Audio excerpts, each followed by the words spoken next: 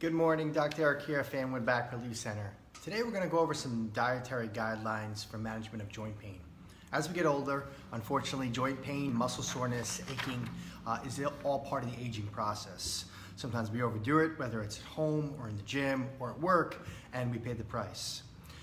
What we do in our office, chiropractic, uh, with the chiropractic care is very useful for managing muscle soreness and joint pain hot and cold packs, exercise, chiropractic adjustments, stretching, the different therapies we use in the office all help and aid. Uh, but if you're not eating the right foods, taking the right vitamins, um, it could be an uphill, uphill battle and challenge to manage that joint pain. So I'm gonna go over a few different things that people with joint pain, muscle soreness should try to avoid or at least limit, uh, and you'll notice a big difference in the way you feel day to day. So a couple different things. Number one, sugar is huge.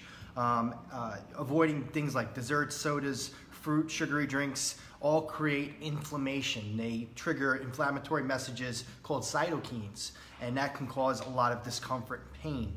Um, and you gotta avoid any of the foods that have the O's in it, the fructose, glucose, sucrose. Well, those things are gonna be bad for your joints and cause a lot of inflammation. The second thing we wanna try to avoid is trans fats. Uh, typically, a lot of fast foods and pre-prepared meals will have trans fats in them. We, we see them a lot in um, frozen breakfast foods, cookies, donuts, crackers. Um, uh, those types of things have a lot of trans fats. Um, foods that contain, if you look on the back of the, the, the container or packaging, it will say uh, partially hydrogenated oils as ingredients. Those are high in trans fats and cause a lot of inflammation and pain.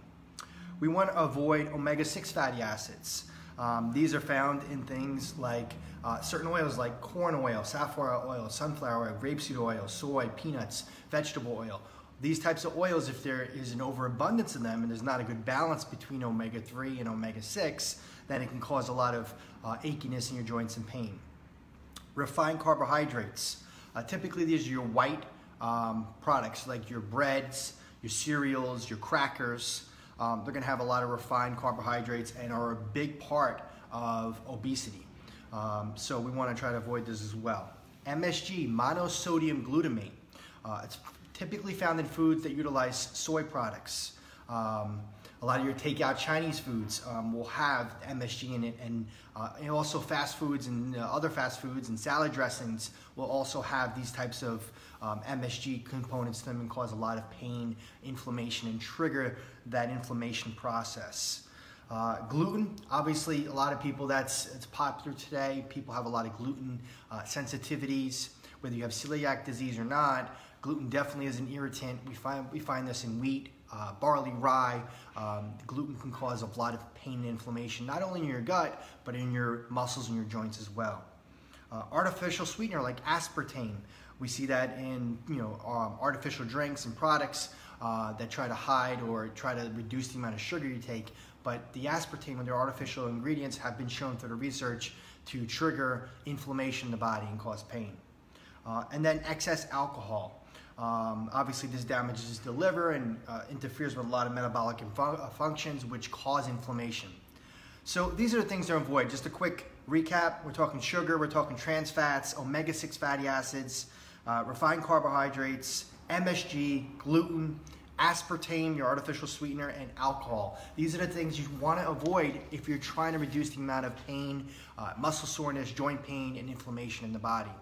Um, because no matter how many times we adjust you, no matter how many times we do stretching and exercise, if you're consuming those products in large quantities and you are getting older, you're gonna notice some pain and uh, aches throughout your day, uh, uncomfortable sleep patterns, and such. Um, any questions about any of these particular guidelines, just give me a call, shoot me a message. I'm here and happy to answer all of your questions. Uh, hopefully you enjoyed the video. If you like it, please click like, spread the love, share it, um, and we will see you in the office. Uh, we're back in the office tomorrow. Have a great day. It looks like it's going to be beautiful weather, and we will talk to you soon. So long.